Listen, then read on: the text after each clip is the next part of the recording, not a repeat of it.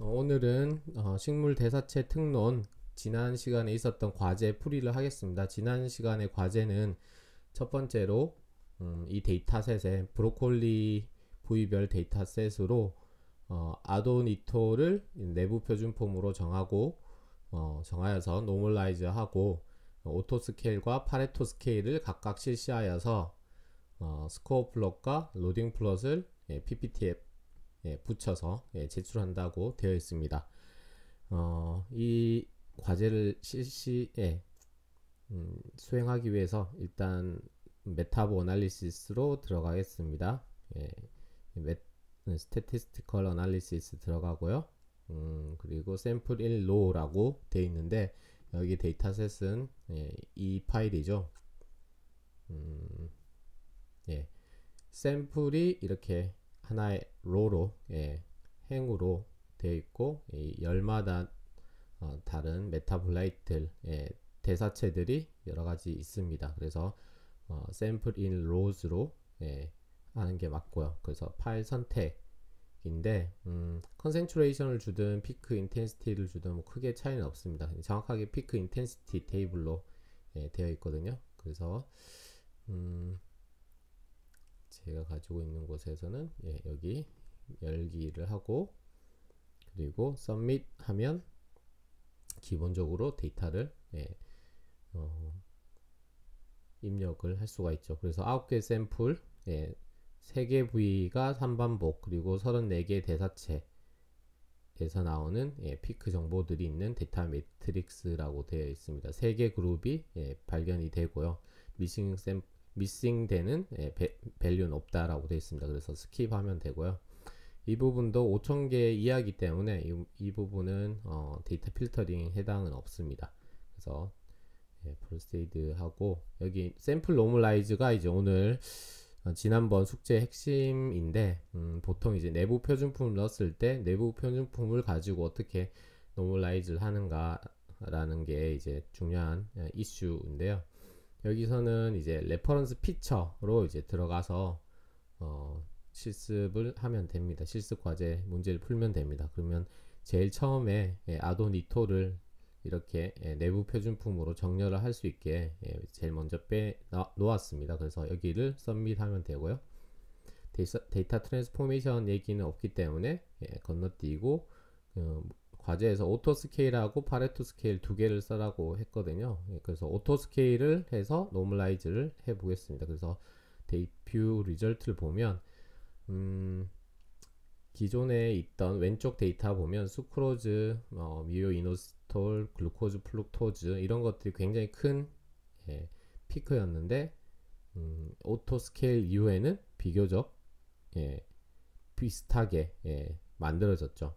모든 모든 대사체가 예, 비슷한 크기로 이렇게 만들어졌습니다. 그래서 auto scale을 하게 되면 어, 각각의 음, 대사체가 비슷한 어, 중요도를 예, 가지게 되는 거죠. 음, 하지만 비슷한 중요도를 갖게 됨으로써 어, 노이즈 또한 예, 비슷한 중요도를 어, 가져버리면 안 되니까 이런 거는 이제 targeted analysis에 오히려 어, 음, 유리를 유리하겠죠 이런 방법은. 그래서 sample view를 보시면 음, 샘플 또한 이렇게 normalize가 되, 는 걸 보실 수가 있습니다. 그래서 기존에는 굉장히 예, 작은 것부터 큰 것까지 좀 어, 차이가 있었는데 샘플이 예, 좀 크기가 예, 음, 비슷비슷해졌습니다. 그래서 이런 걸 그냥 확인을 그냥 육안으로 할 수 있는 부분이 예, view result고요.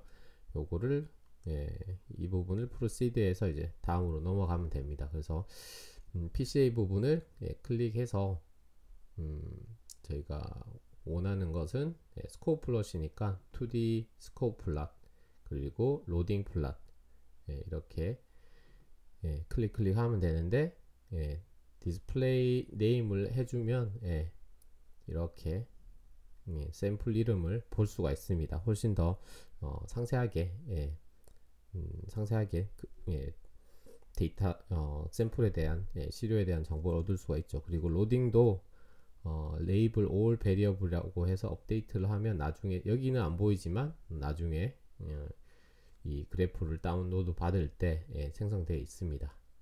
음, 그렇게 해서 음, 그렇게 하면 이제 원하는 결과 결과들이 예, 다 나왔고요. 그래서 다운로드로 가셔서 음, 다운로드 예, 를 하게 되면 예, 원하는 게 예, 원하는 게 이쪽에 나와 있겠죠. 그래서 금방 다운로드 했던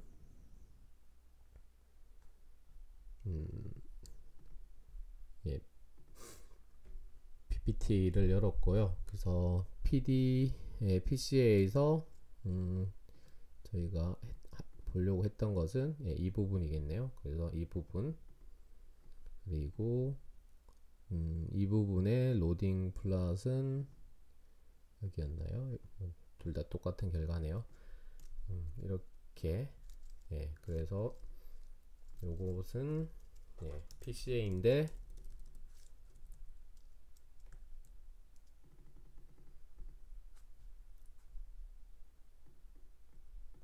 이것은 PCA에서 예, 예, auto scale이었고요. 음, auto scale로 나온, 나온 데이터 그리고 음, 똑같은 작업을 한 번 더 반복을 해서요. Pareto에서 어떤 결과가 나온지 보겠습니다. 어, 똑같은 작업의 반복입니다. 그래서 음, 파일을 sample rows로 해서 예, peak intensity table로 입력을 해 주시고요. 그래서 skip 여기도 예, 해당 사항 없음 예, proceed 그리고 normalization에서 reference feature로 예, 아도, adonitol을 선정을 하고요. 예, auto scale 아 이번에는 예, Pareto scale을 할 겁니다. Pareto scale을 해서 보시게 되면 어, 아까 전하고는 많이 다르네요.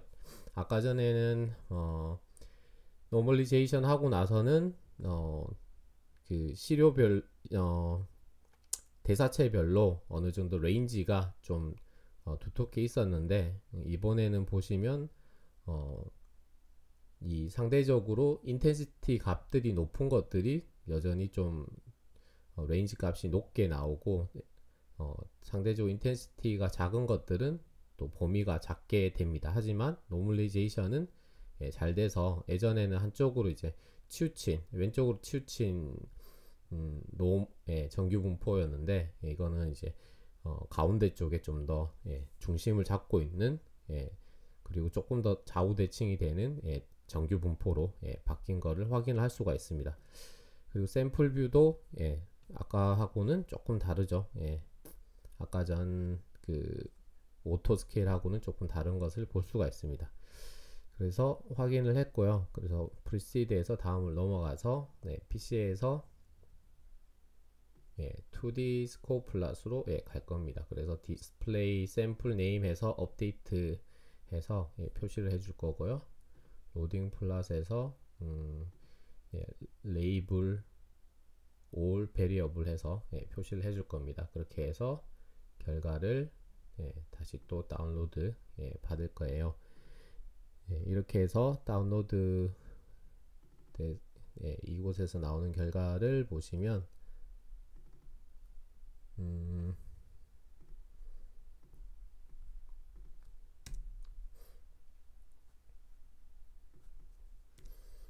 여기서는 보시면 PCA 스코플럿.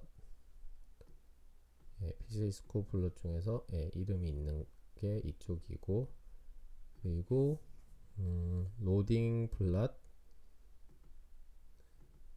예, 여기 있습니다.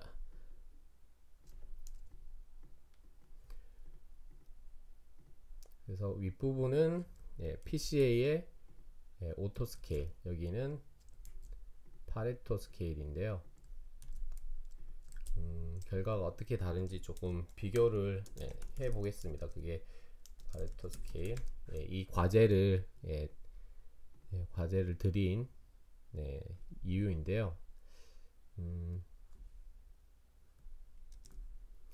일단 이 auto scale로 보시면 음,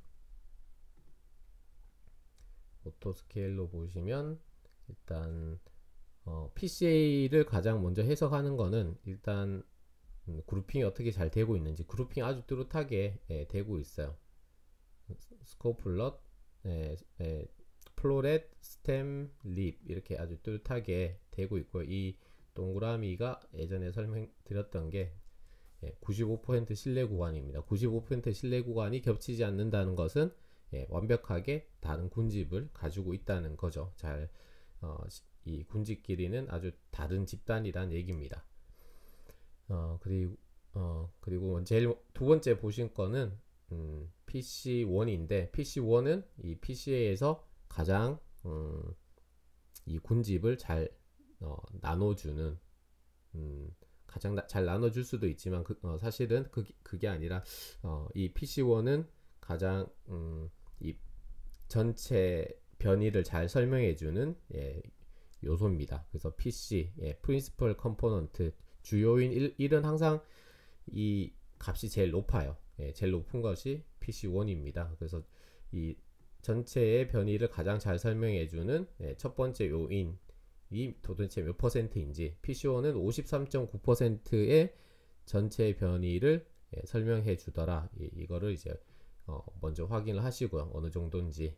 그리고 이게 이게 뭘 무엇을 이렇게 어, 변이를 설명해 주냐 하면 플로렛은 2차원적 1차원적으로 여기 그리고 스템은 여기 그리고 예, 입은 여기가 해당되는 부분이죠. 그래서 이 좌우 좌우 예, PC1에 해, 해당되는 특정 어, 특정 대사체들 이런 대사체들이 있죠. 좌 좌우 좌우로 예, 널리 퍼져 있는 이런 대사체부터 예, 이런 대사체까지 좌우가 이제 이렇게, 이렇게 많이 다른 예, 양극에 있는 이런 대사체들이 이런 음, 브로콜리 조직을 예, 가장 잘 설명해주는 예, 그런 대사체가 되는 거죠. 두 번째는 PC2인데요. PC2. 두 번째 주요 요인은 29.8%의 전체 변이를 설명해주는 요인인데, 음, 여기서 보시면 2차, 1차원적으로는 이 입하고 플로렛이 예, 같이 있죠. 예, 같이 있고, 이 스템은 예, 여기에 해당되겠죠. 그래서, 음, 이, 예, 요, 주요인 2번에 의해서는 예, 완벽하게 그렇게 분리가 되지는 예, 않습니다. 음. 주요 주요인 2에 2에 의해서 이제 말끔, 아, 완벽하게 구분되는 것은 예, 스템하고 예, 이 두 집단과 이 두 집단 간에는 완벽하게 설명이 되죠. 하지만 이 두 요인을 한꺼번에 이제 가지고 예, 이야기를 하면 어, 이 세 집단이 완벽하게 예, 2차원 평면에서, 평면에서는 완벽하게 예, 군집이 나눠지는 거죠. 완벽하게 다른 예, 조직이고 음, 다, 어, 저, 다른 조직이 때, 때문에 예, 수행하는 어, 생리학적인 일도 다르고 그래서 대사체도 예, 많이 다릅니다. 그래서 어, 입부분을 보면요, 입은 대체로 어, 특별히 이, 높은 물질이 없어요. 음, 높은 물질이 없고 예, 화뢰 부분은 이, 이런 물질들이 대체로 높은 것들이거든요. 그래서 여기 있는 물질들 다 보시면 히스티딘, 어, 트레오닌, 세린, 네, 메티오닌, 예, 페닐알라닌, isoleucine 등등 해서 대부분의 아미노산이 floret에서 예, 화뢰에서 높습니다. 예, 알라닌도 이제 예, 알라닌, asparagine, 예, glutamic acid도 대, 다 예, floret에 높고요. 그리고 stem에서 높은 것들은 예, stem에서 동일한 위치에 있는 여기 loading plot에서 찾으면 되거든요. 이쪽 부분에 있는 이런 대사체들이 이, 이 줄기 부분에서 높은 물질들인데 예, 스테, stearic acid, palmitic acid, lactic acid, 그리고 maleic acid, fumarate, glucose, malic acid, sucrose, maltose 등등 이런 물질들이 높습니다. 그래서 지방산, 음, 특정 유기산, 그리고 당 이런 물질들은 예, 이 줄기 부분이 높습니다. 반대로 어, 이런 물질들 이 대부분 상대적으로 다 낮은 곳은 예, 잎이죠. 그래서 PCA는 항상 세트인데 예, 이 score plot과 예, loading plot이 항상 세트로 예, 같이 이렇게 따라다닙니다. 그래서 논문을 쓰실 때도 예, 둘을 같이 예, 같이 보여주시면 항상 좋고요. 음, 그리고 PC1에 있는 어, 설명력이 이 로딩 플랫에 있는 설, 또 정확하게 똑같이 갑니다. 그래서 PC 여기도 PC1이 PC1이 53.9%를 예, 설명을 해요.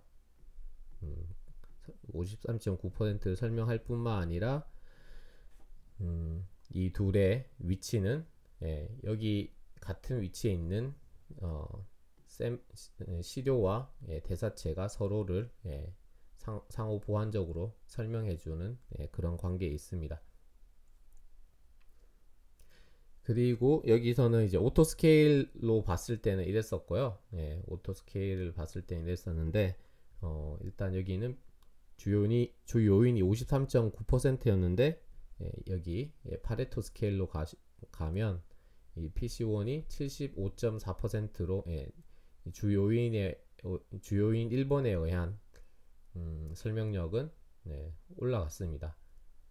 음, 그리고 클러스터링 되는 것도 훨씬 더 이 95점 네, 95% 신뢰 구간이 훨씬 더 예, 좁아졌죠. 예, 훨씬 더 이제 군집 자체가 예, 음, 훨씬 더 패킹됐다 그래야 되나요? 예, 훨씬 더 내로하게 이제 만들어졌는데 예, 그만큼 더 세퍼레이션은 더 잘 되는 거겠죠. 예, 잘 되는 거고 음, PC2를 보시면 22.6%이 둘을 합치면 90 7, 예, 98%, 98%의 전체 예, 변이가 이 두 개 요인에 의해서 설명이 되는 거죠.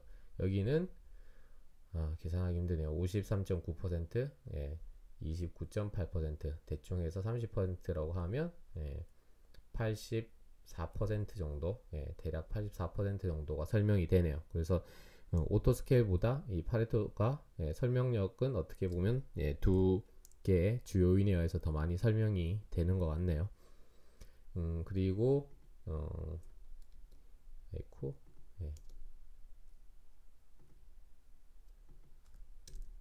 네. 네, 그리고 아이고 잠깐만요. 아, 펜 펜을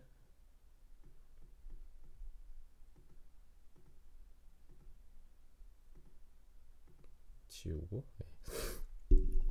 그래서 파레토 scale에서 봤을 때는 이제 어, loading plot을 보시면 loading plot도 굉장히 다르거든요. 네, loading plot을 위에 파, 스케, auto scale과 파레토 이렇게 예, 물론 이제 이 왼쪽에 있는 score plot도 위치가 예, 바뀌긴 바뀌었습니다. 바뀌긴 바뀌었는데 음, 일단 이 stem 쪽을 먼저 보시면 stem 쪽에 많았던 부분이 여기서는 이런 물질들이었는데 이쪽은 stem 쪽에 많은 물질들이 이런 물질들로 이제 제한이 조, 조금 더 이제 제한이 생겼네요. 그래서 음, stem 쪽에는 예, fructose, glucose, 예, sucrose가 이제 많다라고 이제 예, 설명을 해주고 있습니다. 이게 어, auto scale하고 이제 파레토 간의 큰 차이인데요. 음, auto scale 했을 때는 모든 대사체들이 같은 중요도로 계산이 되니까 음, 그 같은 중요도 안에서 fold change 예, 몇 배가 변하는지를 보는 fold change나 이런 어, 그런 값들에 의해서 예, 음, 그런 값들이 예, 폴, 짝 음, 대사체 자체가 굉장히 작 예, 용량 자체가 작더라도 적더라도 이 fold change가 많으면 같은 중요도로 이제 계산이 돼서 같이 이, 이 stem 쪽에 이제 높고 중요한 물질로 이제 음, 묶이게 되지만 이 파레토로 가게 되면 이 올, 파레토의 성질은 원래 크기가 예, 원래 원래 크기를 예, 오리지널 데이터의 structure 그대로 이제 유지해 준다고 그랬어요. 그래서 원래 크기를 최대한 유지해 주면서 예, normalization 하는 방법이기 때문에 이 컸던 물질들이 이 파레토에서 이제 더 어, 파레 네, 파레토 스케일에서는 이 스템을 더 잘 설명해 주는 그런 대사체로 나옵니다. 어, 이해가 되시나요? 예, 전반적 가장 큰 차이는 이제 그런 거고요. 음, 이런 것들이 이제 나중에 어, 응용이 되면 음, 대사체 학을 이용해서 이 음, 표지 인자들을 어떻게 예, 선정할 할, 음, 할지를 이제 고민, 어, 고민할 때 어, 기술적으로는 어, 한 번씩 파레토 scale을 예, 쓸 때가 있습니다. 왜냐하면 특히 이제 어, untargeted metabolomics를 할 때는 이 파레토 스케일 해서 특정 대사체를 찾는 게 굉장히 편하고 유용한 게 음, 파레토 scale을 차, 이용하게 되면 비교적 처음에 intensity가 높았던 물질들이 이렇게 어, 중요한 대사체로 잡히는 거죠. 예를 들어서 크로마토그램이 이렇게 예, 있다고 예, 얘기를 해요. 예. 음, 이렇게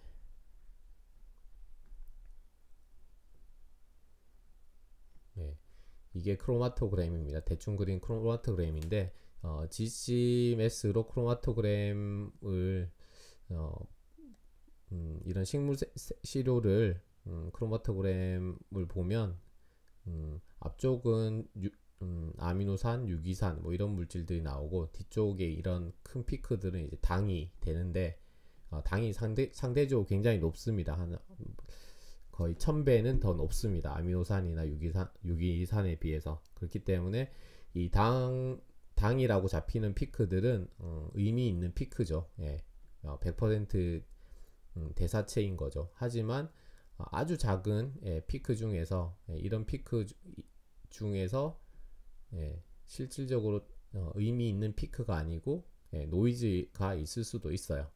예, 이런 피크가 노이즈가 있을 수도 있어요. 지금은 이렇게 targeted analysis 모든 걸 ID를 해놓고 이제 시작을 했기 때문에 어떤 물질이 지표 물질로 선정되더라도 어, ID를 할 필요가 없죠. 이미 ID를 해놓고 왔기 때문에 하지만 untargeted metabolomics로 어, 대사체 어, 의미 있는 대사체 지표 물질들을 찾을 경우에는 음, 이렇게 노이즈가 예, auto scale로 하, 예, auto scale로 했을 때 이런 노이즈가 이런 중요한 지표 물질로 잡히는 경우도 있어요. 그렇게 되면 이 물질을 이 물질이 어떤 물질인지 GCMS나 예, 뭐 LCMS나 다른 어, 그런 라이브러리 혹은 뭐 다른 방법으로 예, mass spectrome 어, spectrome 어, 스펙트럼으로 이 물질에 대한 정보를 얻으려고 보면 나중에 의미 없는 피크거나 아니면 이 피크 intensity 자체가 워낙 작아서 이 어떤 물질인지 알아낼 방법이 없는 경우도 있습니다.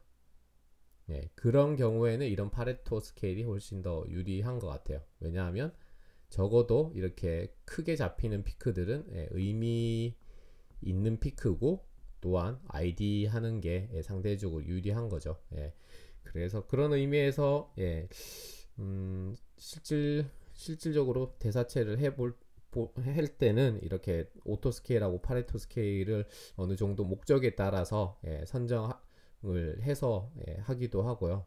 그리고 어, 뭐 그런 차이를 아, 알고 이런 normalization을 하는 게 아무래도 예, 음, 이런 데이터를 가공할 때 유리한 것 같습니다.